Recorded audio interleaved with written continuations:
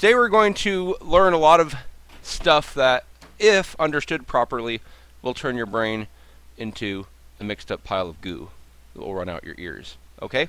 So we're going to begin it with this thing. This is a demonstration of something called the photoelectric effect. Now the photoelectric effect is uh, comes from the prefix is photo, which means anyone know what photo means? Light. light. Good. Photo means light, and electric means electric. Good. means electric. So light electric. How do you get electricity out of light? That is what the photoelectric effect is.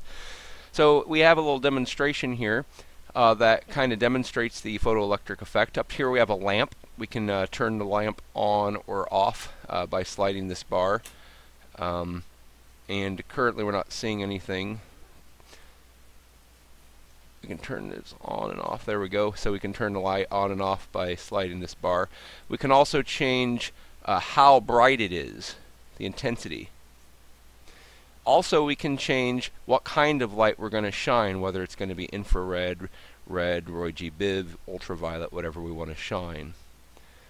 So, the photoelectric effect is simply this. If you shine a light on a piece of metal, sometimes that metal will kick out electrons, but it's not going to do it until I hit play. Silly me. Sometimes it will hit uh, kick out electrons, and you see electrons flying across there. And down here you can see a current reading that shows you that electrons are in fact flying across. Okay?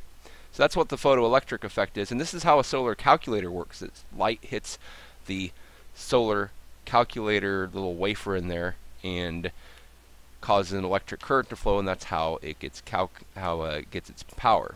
And there are many applications for this, including solar panels. Um, hopefully, someday we could stop, you know, burning coal and oil and just let the sun give us all of its energy in this way. But that's not what we're talking about today.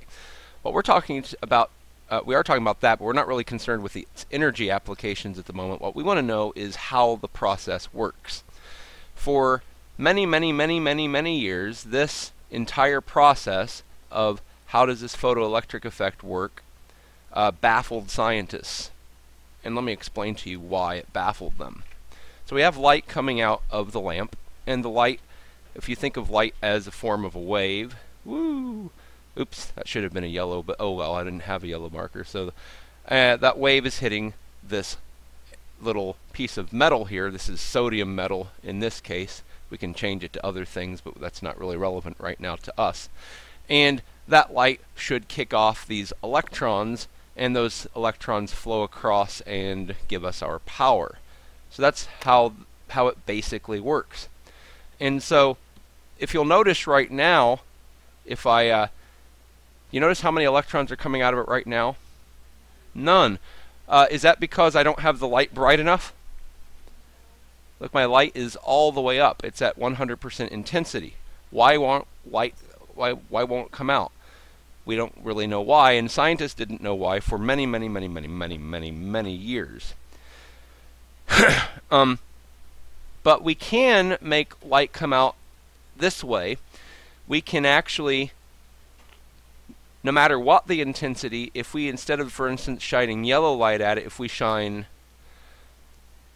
even something like uh, purple light at it, even at a very low intensity, you see I, my intensity is only about 34% right now, uh, but I'm getting lots and lots and lots and lots and lots and lots and lots and lots of electrons flowing out of it. And that doesn't make sense if you think about light the way we've been talking about it, because on the one hand, you say, well, yes, violet light is higher energy than yellow, so it makes sense. But on the other hand, if you make it super, super intense, if you take yellow light or blue light and make it super intense, in fact, we could even take something like green light, which, or let's see, let me find the lowest one that doesn't work. There's green light. Uh, it does work. So let's keep going down. Go back to yellow again. Here's yellow light. Super intense. 100% intensity on yellow light is not causing any electrons to come out. But if I nudge it just a tiny little bit further, just a tiny bit more energy, and make it just green, now it starts coming out. In fact, even if I keep turn the intensity down low, they still keep coming out. Don't they? Now this doesn't make sense because the total energy from a whole bunch of yellow ones is actually more energy than just a few green ones. So even though there's less energy here, it's working better with the green. And this baffled scientists. It made no sense at all. And so they were kind of stuck on this. It was the photo it's again it's called the photoelectric effect. And no one understood electric effect. And this was completely baffling scientists for a long time until someone came and figured it out and explained it to everyone. Does anyone have any guess who did that? I'll give you a hint. You've no, it was not Isaac Newton. That's a reasonable guess. He was.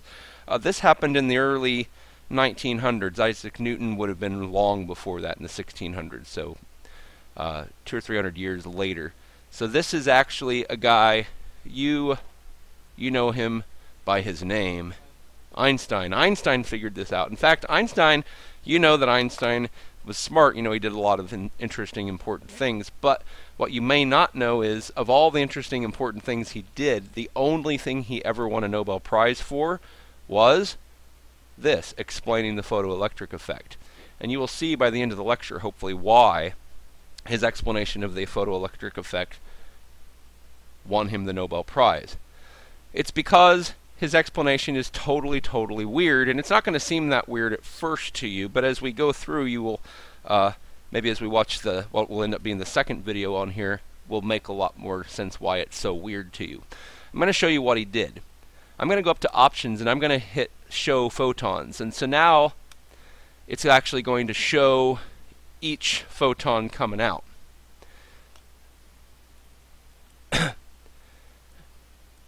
And so and then I'll kind of do that.